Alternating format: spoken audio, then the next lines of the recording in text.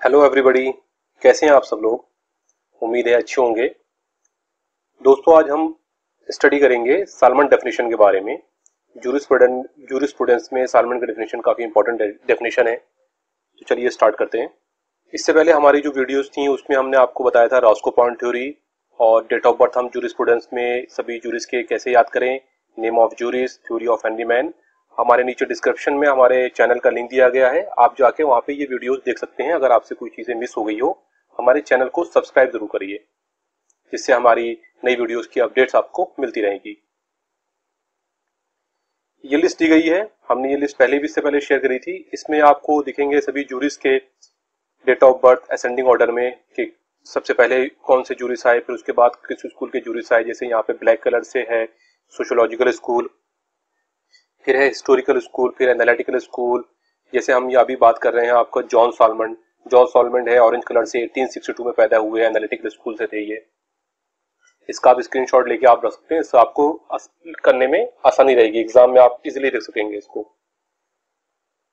तो हम बात कर रहे हैं जॉन सॉलमंड कौन थे? हमने यहाँ इसका फ़ोटो यूज़ किया है कि आपको पता चले कि ये जॉन सॉलमंड किस तरह से थे। ये तीन दिसंबर 1862 में इनकी बॉर्ड बॉन्ड हुए थे नॉर्थ शीर, नॉर्थ बलैंड, इंग्लैंड के थे ये। डाइड 19 सितंबर 1924 के हुए ये। ये एक लीगल स्कॉलर थे पब्लिक सर्वेंट थे और न्यूजीलैंड के जज भी थे ये। इन्होंने अपनी एक बुक लिखी जिसका नाम था जूरिस्प्रूडेंस और the theory of the law जो काफ़ी फ़ेमस बुक रही। सॉलमेंट ने कहा कि डैड जूरिस्प्रूडेंस जूरिस्प्रूडेंस जैसे हमने बताया था कि जूरिस्प्रूडेंस एक लैटिन वर्ड है।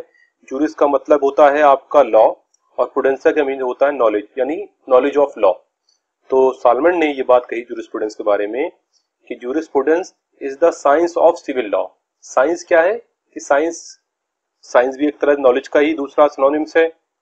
तो नॉलेज जो है सिविल लॉ सिविल लॉ यानी कि जो नागरिक कानून होते हैं, उसकी नॉलेज को जूरिस्प्रूडेंस कहा जाता है.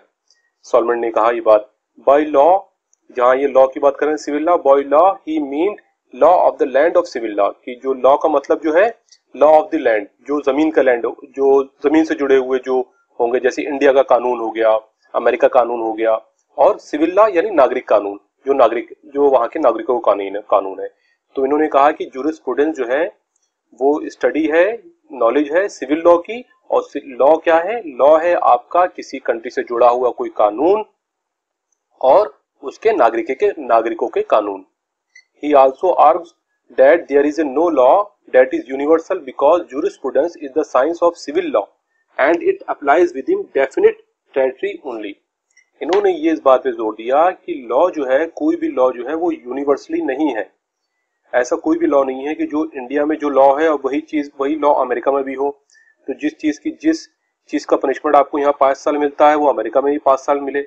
नहीं, ऐसा नहीं हो सकता। हर कंट्री के लॉ जो लॉज जो बनाए गए हैं, वो सोसाइटी की नीड के अकॉर्डिंग डिफरेंट डिफरेंट बनाए गए हैं। तो इन्होंने की ये बात यहाँ पे इन्होंने कहा कि कोई भी लॉ जो है यूनिवर्सली नहीं है और jurisprudence is the science of civil law कि नागरिकों के कानून की जो स्टडी होती है उसको जूरिस्प्रूडेंस कहते हैं and it applies with in definite territory only और जो अप्लाई होती है, जो लागू होती है सिर्फ़ डेफिनेट टेरिटरी के ऊपर। यानी एक जो जो जगह जो निर्देश कर दी जाती है, वहीं पे अप्लाई होती है। ऐसा नहीं कि एक जगह आपने अप्लाई कर दी तो पूरी दुनिया में कहीं भी अप्लाई होगा, ऐसा नहीं हर जगह की टेरिटरी के हिसाब से वहाँ के लॉ और जूरिस्प्रूडेंस अलग अलग होंगे। जूरिस्प्रूडेंस की जो सालमन ने डेफिनेशन दी, उसमें उन्होंने कुछ पर्टिकुलर वर्ड यूज़ करे हैं। ये तीन वर्ड यूज़ करे हैं। Words which are use in Salmond definition पहला है लॉ दूसरा है सिविल लॉ और तीसरा है साइंस हम ये आज ये पढ़ते हैं कि ये तीनों वर्ड्स का मतलब क्या है, जिससे हमें आगे की स्टडी में आसानी हो। तो लॉ का मतलब है law is the body of principle principle क्या? सिद्धांत. Recognize and applied by the state in the administration of justice administration of justice हो गया आपका न्याय का प्रशासन. लॉ जो है, वो एक बॉडी यानी कि एक तरह से जोड़ है उनके सिद्धांतों का. जोड़ है या फिर स्ट्रक्चर है उनके सिद्धांतों का जो रिकोगनाइज जो पहचाने गए हैं किसके द्वारा? स्टेट के द्वारा. यानी स्टेट ने उन्हें लागू कराया है. Recognise and applies by the state state ने उन्हें लागू कराया है और एडमिनिस्ट्रेशन ऑफ़ जस्टिस यानी न्याय के प्रशासन में स्टेट ने उन्हें अप्लाई किया है, जो एक तरह से स्ट्रक्चर है प्रिंसिपल्स का। लॉ लॉ जो है, एक प्रिंसिपल का स्ट्रक्चर है, जो न्याय के प्रशासन ने स्टेट ने अप्लाई किया है।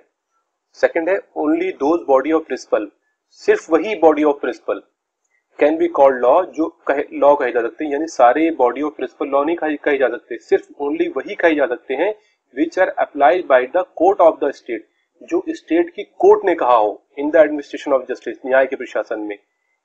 यहाँ पे थोड़ा ये ज़ोर देने की चीज़ है कि सारे प्रिंसिपल जो है बॉडी प्रिंसिपल जो है, वो लॉ नहीं है, सिर्फ़ वही लॉ है, जो स्टेट जो स्टेट की कोर्ट ने डिफाइन किया है, किसके अंडर एडमिनिस्ट्रेशन ऑफ़ जस्टिस के अंदर। ये आप आगे समझेंगे इसका डिफरेंस इसको आप थोड़ा माइंड में रखिएगा।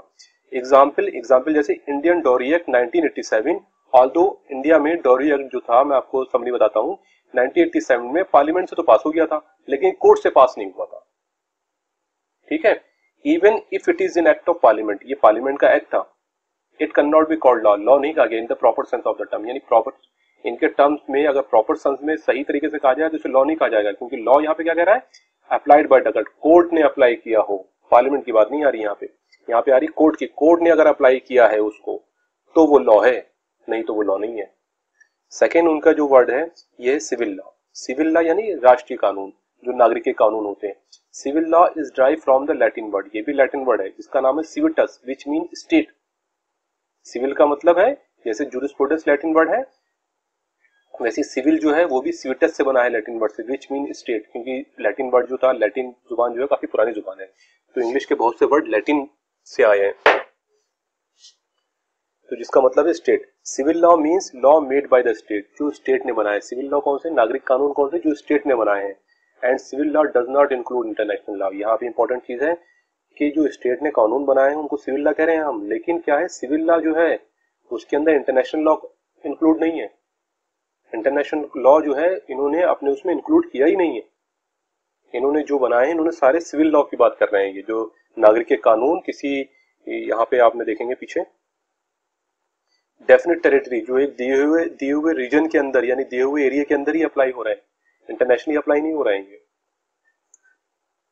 थर्ड पॉइंट है science of jurisprudence is the science of civil law science क्या हो गई? साइंस भी एक साइंस का भी जो लैटिन वर्ड है, उसका मतलब उसका नॉलेज से है।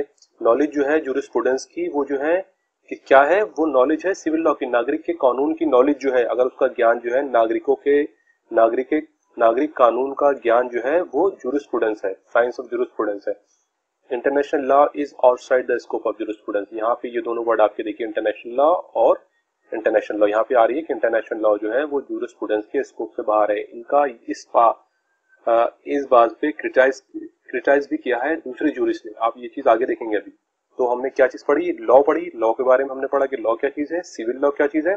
और तीसरी चीज़ आती है साइंस साइंस साइंस का मतलब क्या बताया knowledge science come from the Latin word ये भी लैटिन वर्ड है विच मीन्स नॉलेज देखिए, वही बात आ गई।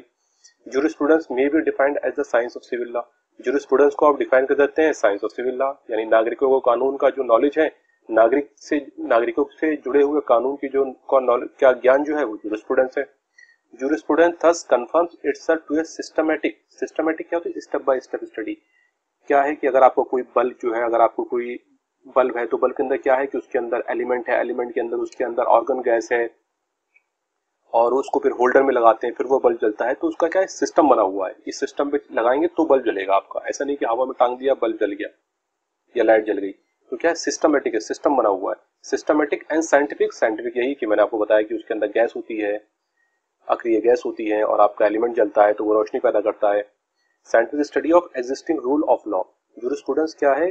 जूरिस्प्रूडेंस जो है कंफर्म इट्स जूरिस्प्रूडेंस क्या कहता है कि वो सिस्टमेटिक स्टेप बाय स्टेप यानी जो है साइंटिफिक स्टडी है एग्जिस्टिंग रूल जो रूल्स अभी अप्लाई हैं, उनकी स्टडी है स्टेप बाय स्टेप कोई भी रूल है तो उसकी, जैसे कोई रूल है, आपका किसी चीज़ में आपको किसी दो साल की सजा है तो उसकी सिस्टमेटिक स्टडी है कि कि कैसे कैसे हुआ, उसकी सिस्टम बाई स्टडी को ही जूरिस्प्रूडेंस कहा जाता है।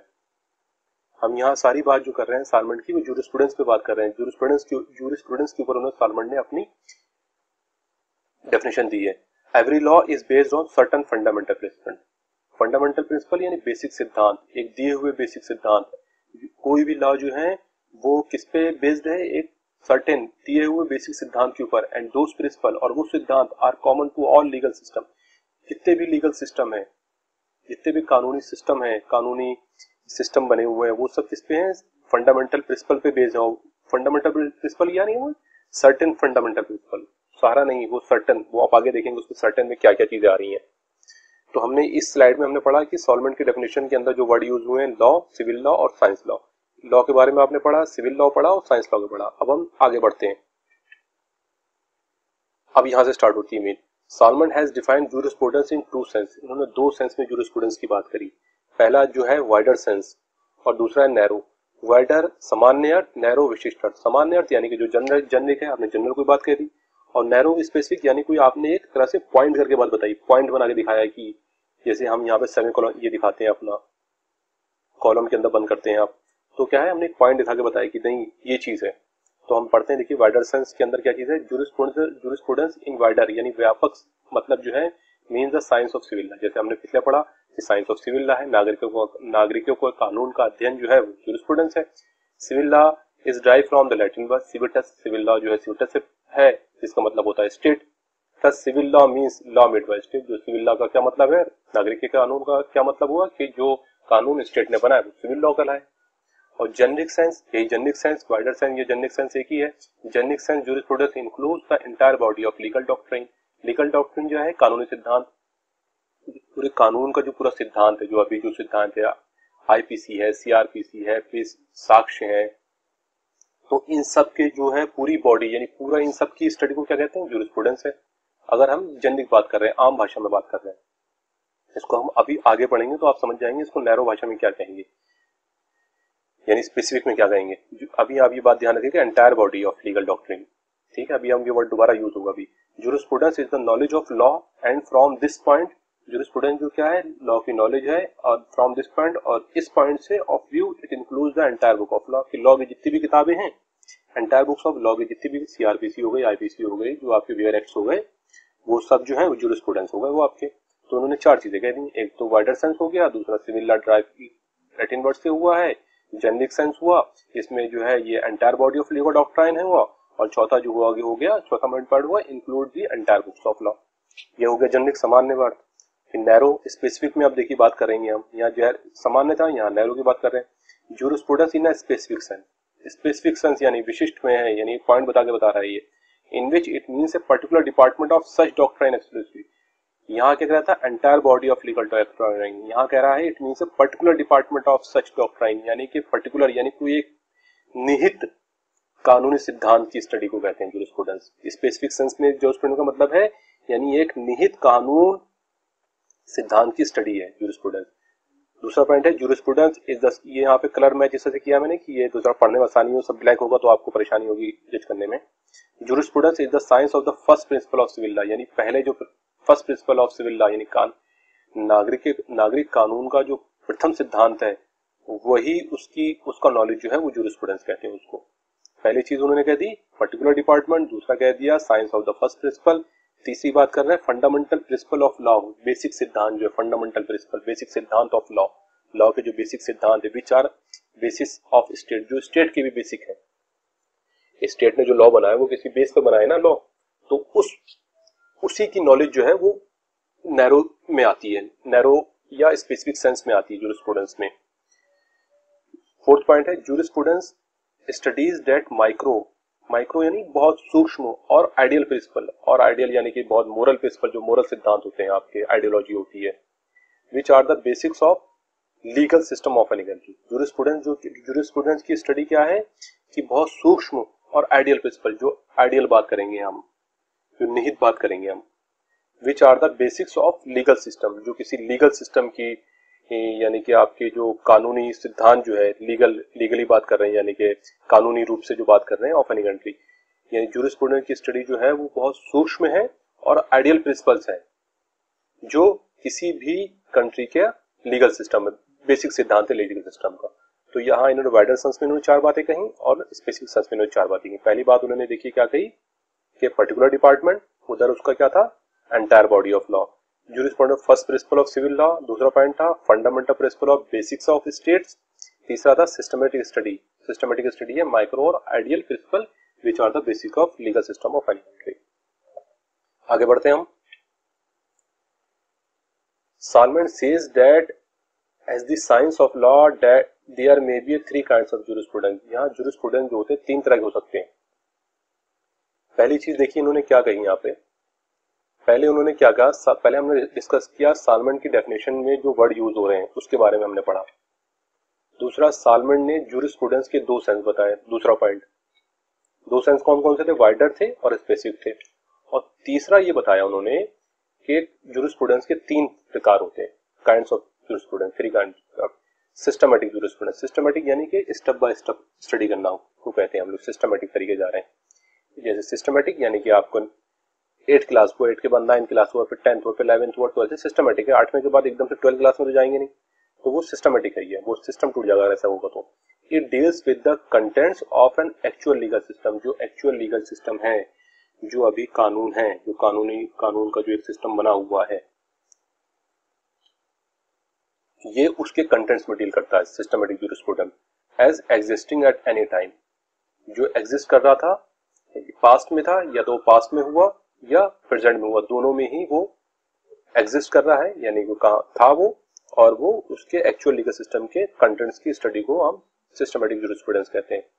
हिस्टोरिकल जूरिस्प्रूडेंस दूसरा it is concern with the legal system जो लीगल सिस्टम है in its process of historical development historical development यहाँ पे क्या कहता है पास्ट और प्रेजेंट की बात कर रहा था, यहाँ कह रहा था हिस्टोरिकल डेवलपमेंट यानी किस वजह से कानून बना, किस वजह से उनको पाँच साल की सजा दी गई किसी किसी जुर्म के अंदर किसी चीज़ को दस साल की सजा दी गई तो उसकी उसकी स्टडी को जो कहते हैं, उसके लीगल सिस्टम की स्टडी को कहते हैं हिस्टोरिकल जूरिस्प्रूडेंस पास्ट और प्रेजेंट को कह रहे हैं सिस्टमेटिक जूरिस्प्रूडेंस और जो हिस्टोरिकल की स्टडी को कह रहे हैं हम लोग historical jurisprudence the science of legislation कानून का विज्ञान, ये थर्ड है.